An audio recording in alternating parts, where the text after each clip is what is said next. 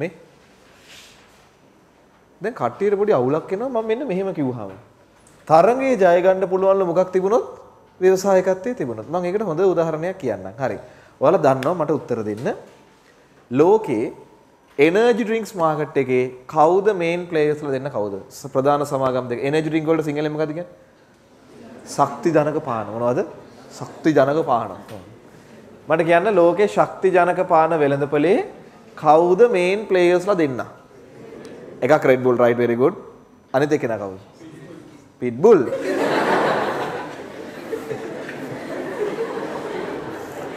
හොඳට දැක්කේ නෑ කවුද කිව්වේ කියලා නැත්නම් මම උඩ පිට පෙන්නනවා. කවුද අනිත් එක්කෙනා?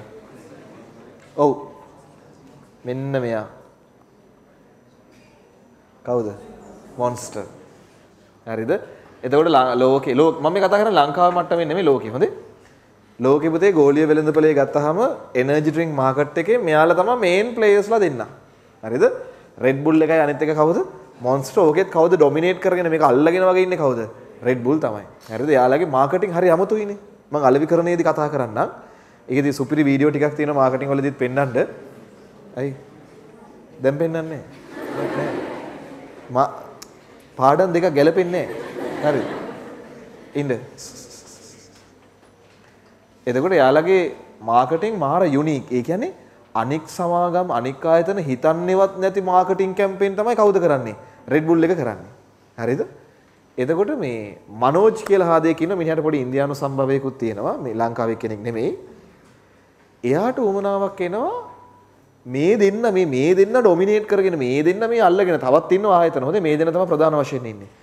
මේ වෙළඳපොළට එයාට ඕන වෙනවා එනර්ජි ඩ්‍රින්ක් එකක් හඳුන්වලා දෙන්න. ශක්ති ජනක පානයක් ලෝක වෙළඳපොළට හඳුන්වලා දෙන්න. දැන් පොඩි ප්‍රශ්නයක් තියෙනවා. තරගයේ ජය ගන්න ලේසියද අමාරුයිද? අමාරුයි. ඇයි? දැවැන්ත තරගකාරයෝ දෙන්නෙක් තමයි ඉන්නේ එක දෙක. එකක් Red Bull අනිත් එකේනා Monster. දැන් මෙයා කල්පනා කරනවා මොකද කරන්නේ? ඒ කල්පනා කරනකොට මෙයාට පොඩි දෙයක් අහු වෙනවා.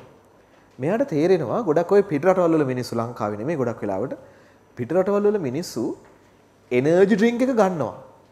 අරගෙන බොනවා. හැබැයි ළමයි කෑන් එකම බොන්නේ නැහැ සමහර වෙලාවට. කෑන් එකේ භාගයක් හරි නැත්තම් හතරෙන් තුනක් විතර බීලා ඉතුරු ටික විසික් කරනවා. හරිද? මිනිස්සු එහෙම කෑන් එක ඉතුරු කරනවා.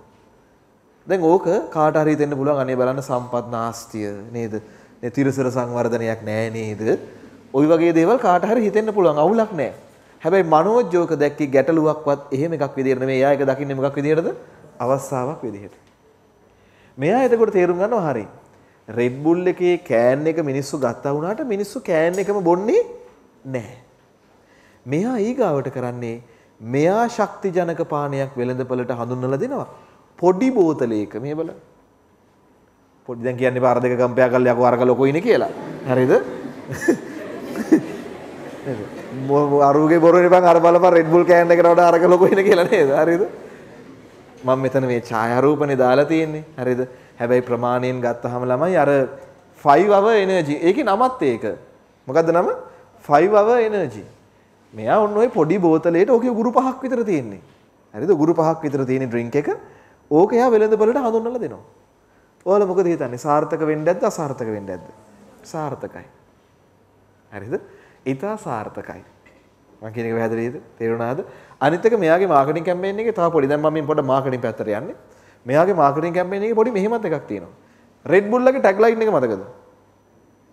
Red Bull gives you wings. අත්තටු දෙනවා. හැබැයි මෙහෙමනේ. පොඩි මෙහෙම අවුලක් එනවා. දැන් Red Bull කියන්නේ එනර්ජි ඩ්‍රින්ක් එකක්. එනර්ජි ඩ්‍රින්ක් එකෙන් අපිට අත්තටු නෙමෙයි ලැබෙන්නේ. අපිට මොනවද ලැබෙන්නේ? එනර්ජි කියන්නේ ශක්තියනේ.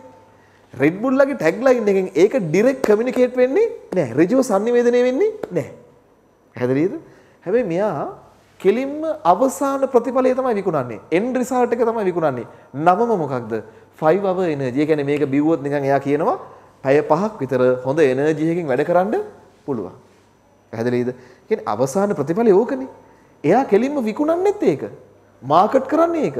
Red Bull එහෙම නෑ Red Bull ශක්ති ජනක පානයක් තමයි එනර්ජි තමයි. හැබැයි එයාලා කියන්නේ මොකක්ද? Red Bull gives you wings.